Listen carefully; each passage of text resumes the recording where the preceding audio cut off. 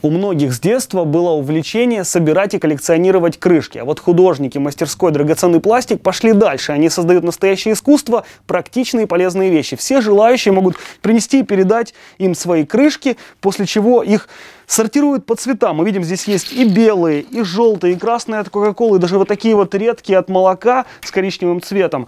Главная философия, что пластик является мусором до тех пор, пока мы его бездумно выбрасываем. А как только мы начинаем его ценить, отделять от органики и находить ему применение, он становится действительно драгоценным. Екатерина Руденко – одесская художница, преподаватель рисования и сотрудник мастерской «Драгоценный пластик».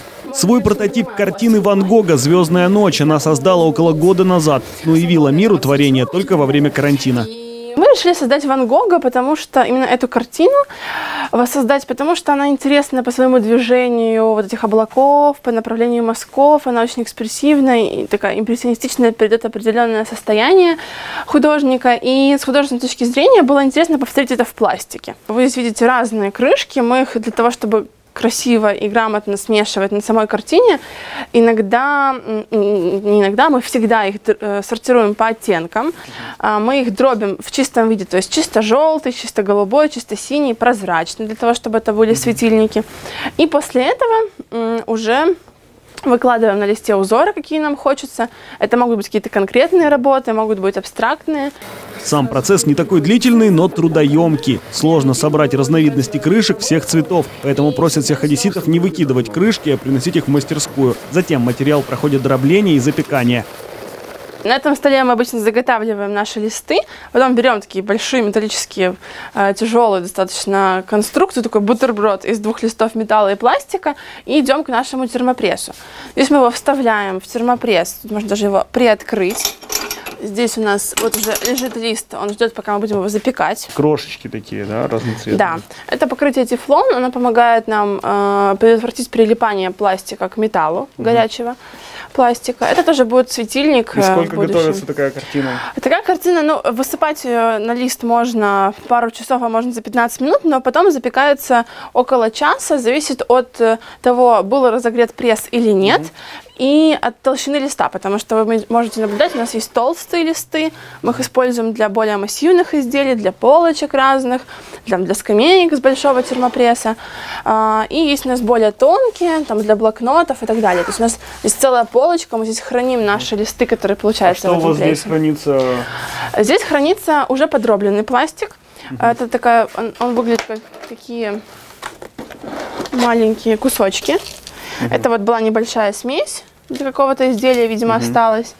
Есть в чистом виде э, пластик. Вот, например, покажем красный. Вот он чистый, видно, что тут нет никаких примесей другого цвета. Вы есть сами сортируете их все? Да, конечно, мы сами сортируем, нам часто помогают дети наши, которые приходят к нам в гости. Есть уникальные цвета, которые мы бережем на разные очень красивые работы, изделия. Кроме картин из пластика, в мастерской производят множество всего, начиная от ваз и браслетов и заканчивая картами в виде интерактивных пазлов. Катя, расскажи нам о своих изделиях, э, о таких уникальных работах, э, которые тоже связаны с Ван Гогом. Как ты их создаешь?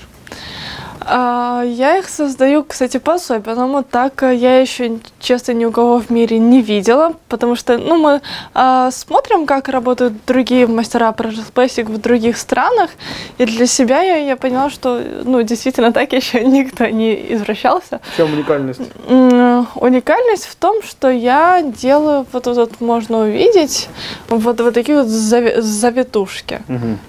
Вот, вот такие, да, типа они? Да, будут... да. И, и, и получился таким образом Ван Гог, потому что а, потому что у, у него на самых вот известных картинах очень похожие движения, завитки, это могут быть и облака, и море.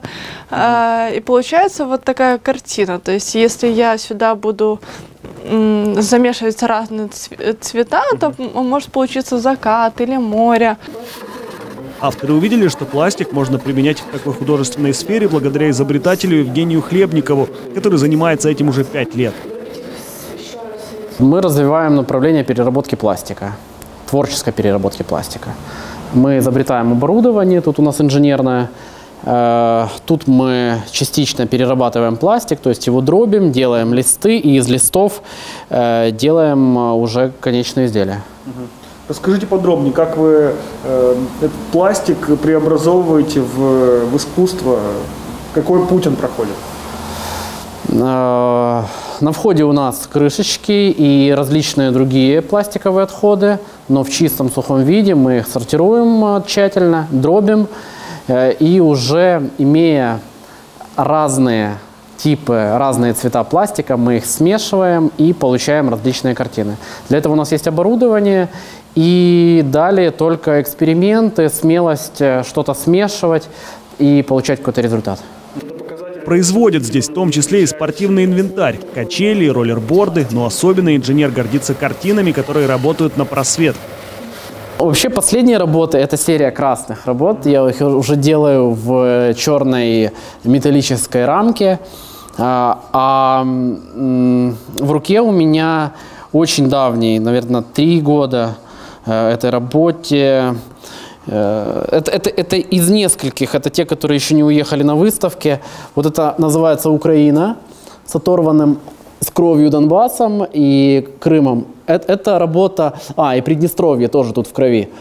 Эм, эта работа давняя, она получилась совершенно случайно и долго леж... я, я просто сделал лист, и он долго лежал, как заготовка для обложек для блокнотиков.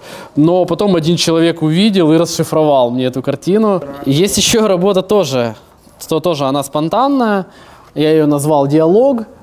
А, то есть какие-то обрезки я превратил в лист, и получились два таких персонажа, которые а, вот зеленый, он руками придерживает а, напор синего персонажа, а этот вот на него кричит.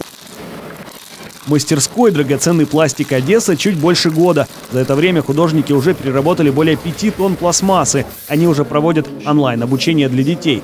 В будущем планируют организовать выставки и фестивали за своими работами. Дмитрий Богомолов, Константин Нищерет, телеканал «Репортер».